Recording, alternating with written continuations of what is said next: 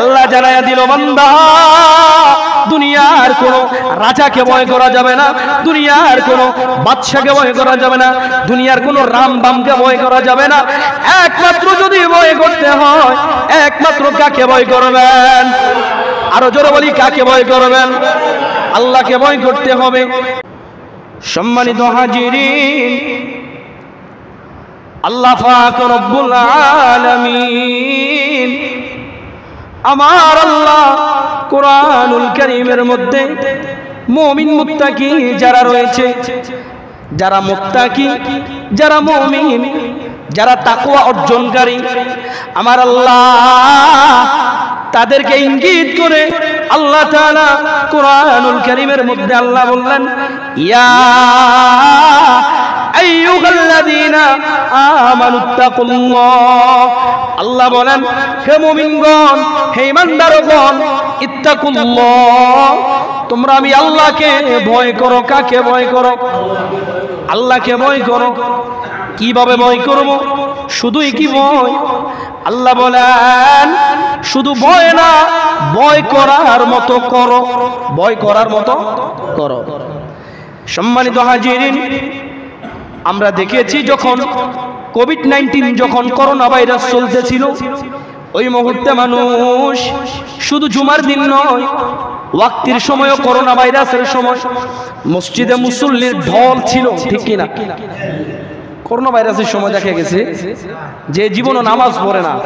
মসজিদের মসজিদমুখী হয় না ক্যাবলামুখী হইয়া পিছল খায়াও পড়ে না। দেখা গেছে আল্লাহর ওই বান্দাও আল্লাহর গোর মসজিদে সাড়া দিছে, জোর বলে ঠিক কিনা।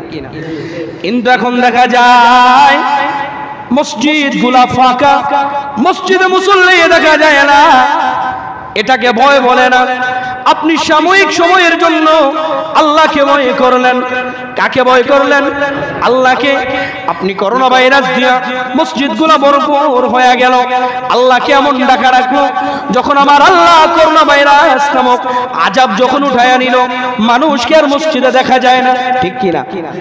অতএব বোঝা গেল, মানুষ আল্লাহকে ভয় করে মানুষ এতদিন করোনা ভাইরাসকে ভয় করেছিল ওই সময়।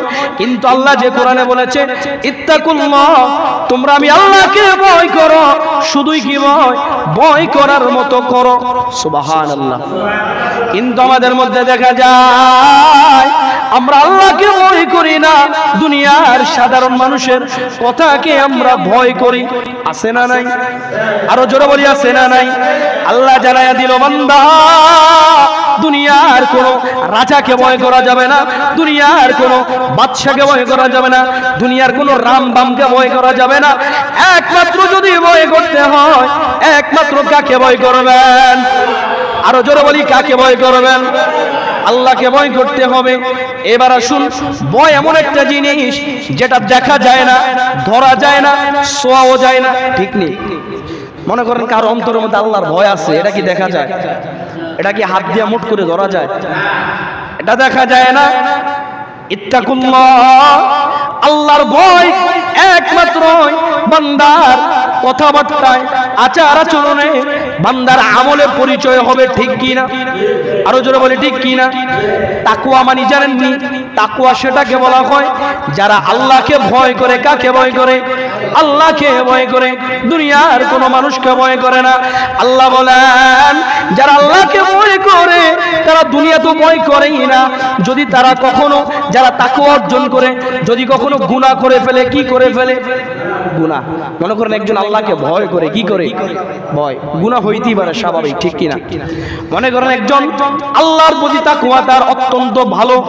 আল্লাহকে অধিক পরিমাণে ভয় পায়। কিন্তু সে হঠাৎ করিয়া ইচ্ছাকৃত কিংবা হোক, অনিচ্ছাকৃত হোক, একটা গুনাহ করে ফেলেছে। কিন্তু যারা আল্লাহকে ভয় করে তারা গুনার কাছে পড়িয়া থাকে না। বরঞ্চ যেই ব্যক্তি আল্লাহকে ভয় করে, ওই ব্যক্তি আল্লাহর দরবারে তওবার জন্য পড়ে যায়। ঠিক কিনা? আল্লাহকে যারা ভয় করে, তারা গুনাহ করার পর আর বসে থাকে না। তারা আল্লাহর গুনাহ মাফের জন্য, আল্লাহর কাছে আল্লাহর কাছে ইস্তেকবার জানবার জন্য, আল্লাহর কাছ থেকে ক্ষমা প্রার্থী পাওয়ার জন্য তারা আল্লাহর কাছে তাওবার দরজার মধ্যে আল্লাহ রব্বুল আলামিনের কাছে তারা মাথা নত করে তাওবার জন্য দুই হাত বিছায় দেয়, জোরে বলি, সুবহানাল্লাহ। এটাকে বলা হয় তাকওয়া। সম্মানিত হাজিরিন, শুধুই কি তাই?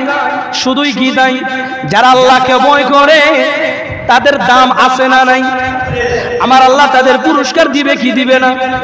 পেয়ারা হাজিরিন, আমার আল্লাহ কুরআনুল কারীমের অন্য আয়াতের মধ্যে আল্লাহ তাআলা জানায়া দিলেন, আল্লাহ বলেন, ওয়ালিমান খাফা মাকাম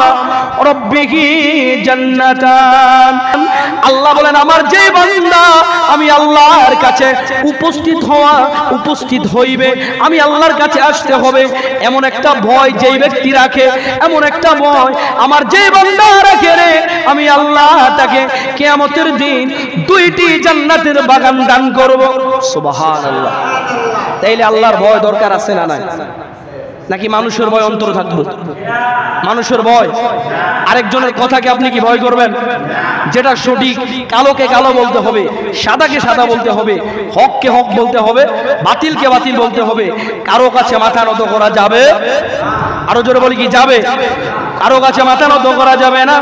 আমার আল্লাহ বলে, আমার যে বান্দা, আমি আল্লাহর কাছে আসবে, আমি আল্লাহর বিচারের কাঠগড়ায় দাঁড়াইবে, এমন একটা দিল, এমন একটা অন্তর নিয়া আমার যে বান্দা, আমি আল্লাহকে বই করবে, আমি আল্লাহ তাকে দুইটা জান্নাতের বাগান দান করব।